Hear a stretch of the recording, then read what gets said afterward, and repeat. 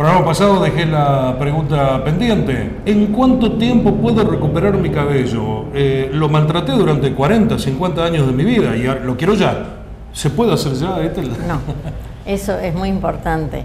La gente dice, tengo un casamiento dentro de tres meses y quiero el pelo largo. No, el pelo va a salir, es como un parto. Tiene que esperar que el chico nazca.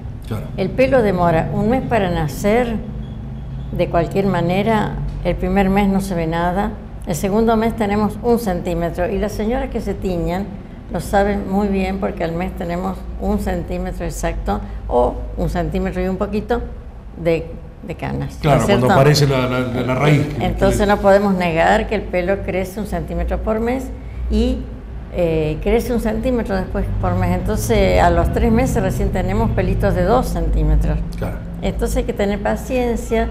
Los tratamientos no son tan largos porque se empieza haciendo una vez a la semana y después pasamos a, cada 15 días y después una vez por mes la sesión. Entonces se aliviana, se aliviana el sentido del tratamiento y, eso hace que la gente lo siga haciendo paulatinamente para mantenerlo después de buena, en buena calidad. En este sentido, ¿se replica de la misma manera lo que ustedes hacen a nivel de, todo el país con, el envío de los productos y demás? Sí, eso, este, el tratamiento a distancia, que siempre anda muy, muy bien. Además, es un tratamiento muy fácil de hacer, económico, que anda fantástico y que la gente viene, si viven muy lejos, vienen cuando pueden. Si viven cerca, vienen cada 45 días o cada tres meses, pero lo vamos haciendo un control para ver cómo va, para, para ver la evolución. Mira vos, en un pelo, en un pelo que, se recupere o en una cabeza que se recupere para, para poder albergar ese pelo, si quiere tener 12 centímetros necesita 13 meses. Es decir, es para tener en cuenta, ¿no? O sea que el tratamiento se puede empezar en cualquier época del año. Se puede empezar en cualquier época y después, eh, si hay muy, muy poquito pelo, uno levanta un, un de pelo así y se va viendo a través hasta dónde está más, más espeso y las puntitas, esas finas, finitas que estaban, se van a ir cayendo porque es pelo viejo. Bien. Cada 10 años se cambia el cabello. Cae un pelo viejo y nace uno nuevo. ¿Cada 10 años? Más o menos, 10, 12, no, no se puede saber exacto eso, pero es así. Y entonces el bulbo capilar, aunque no se cae ni se muere, se va debilitando de producir.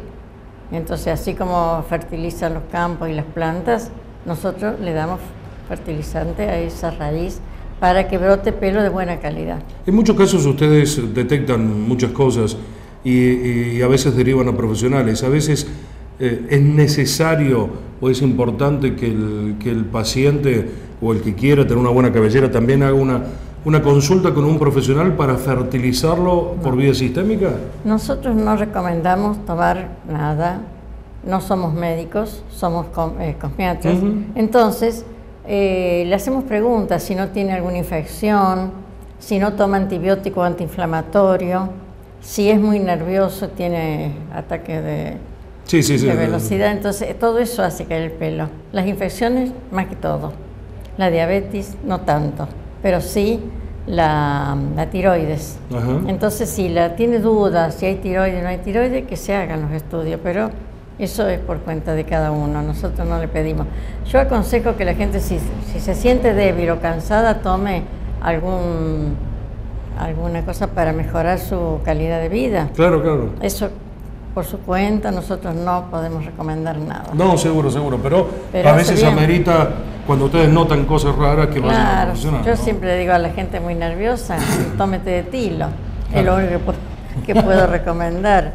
Y una vez un médico, un médico dice, ay no, tendría que tomar un camión de tilo. No, no es así.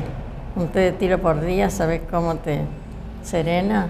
Está bueno. y, si no, esposo o esposo, sin llegar a la violencia, que ajuste. por eso, todas esas cosas es eh, a base de preguntas y el cuestionario, después si fuma, si no fuma.